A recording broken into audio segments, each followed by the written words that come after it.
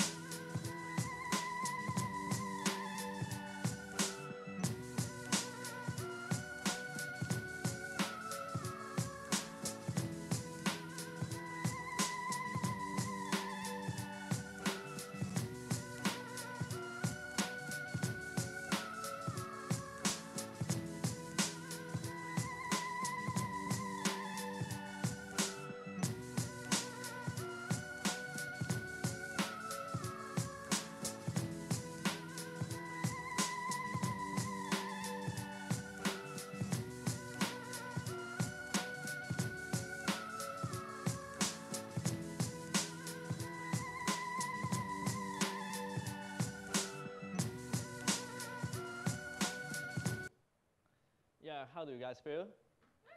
It's good. I know. and have you guys uh, watched any fashion show before? Yes, I think so. Yeah.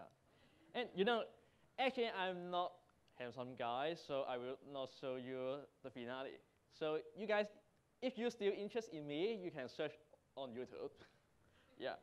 And uh, this collection is called SAN, S-A-N, is a Japanese word. It's showcased uh, in the largest uh, sustainable fashion design competition in the world called uh, Eco Chic Design Award. And uh, it holds in Hong Kong, Hong Kong Fashion Week in January.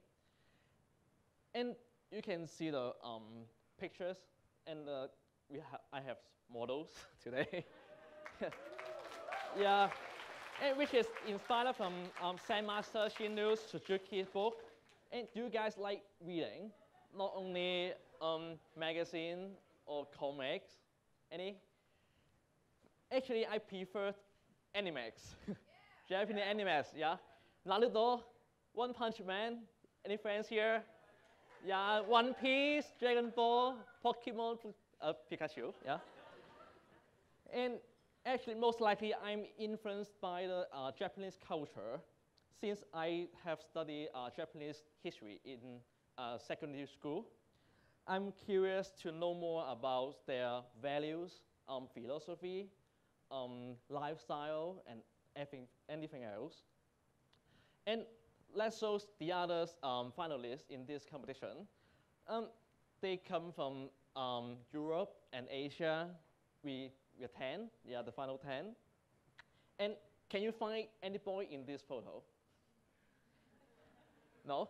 Actually, you can see the short hair, this young girl. Her mom just uh, asked her, Where's the boy? There are 10 girls only. so, yes, I have very long hair, and people are interested in my hair more than me. Actually, especially the children. I have some uh, workshop uh, in some NGOs, and they just ask me that, oh, why don't you cut your hair? Uh, a boy with long hair is no good. uh. And even my mom would say, a boy with uh, in short hair is much more handsome, at least handsome than you, okay? yeah, I think it's sad. I'm sad. And but these guys never asked me why I'm in long hair. They didn't think it is uh, weird, but they did think I'm not handsome. You know, um, it is your it is not your jazz make you look fat. It's your fat make you look fat. So I think so it's not my weird make me we- not it's my weird make me weird. Yeah, not my long hair make me weird.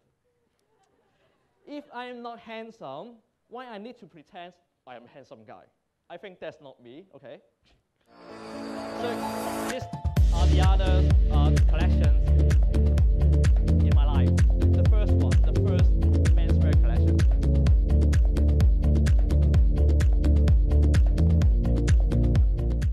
Yeah, very short one.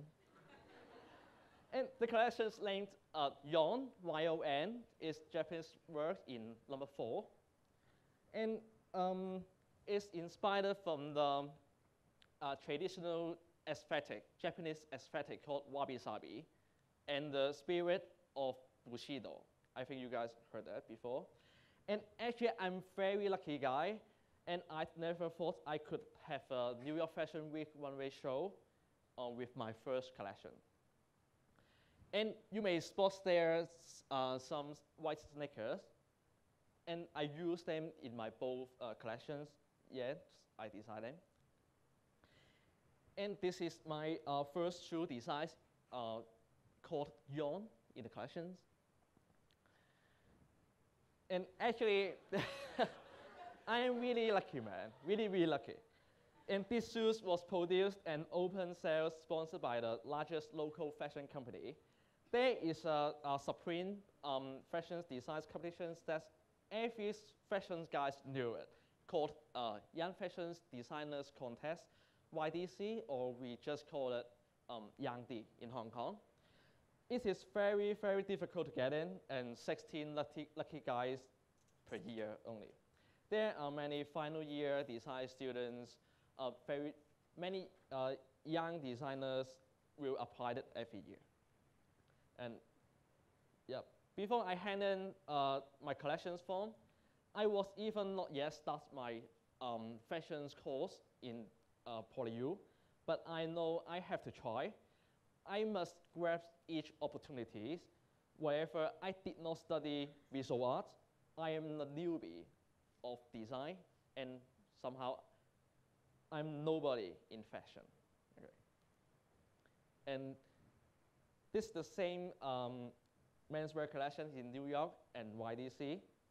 As I said, I'm a very lucky man, very, very lucky one, okay? because my dad did told me, you should not be afraid to try, and you will never know what will happen in the following. Yeah, after the collection, I would like to introduce a guy who um, influenced me, lead me, or announced me to this stage. You can see this guy. yeah, but sometimes teenagers were confused that why it is so hard to imagine their future in Hong Kong.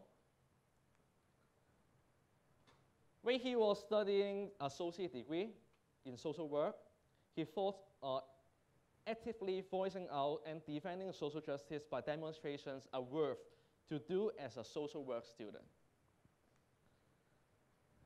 At the same time, his girlfriend was studying fashion design in PolyU. It's a joke, right? He realized that more than 80% students are possible to stand out even they did not study visual arts.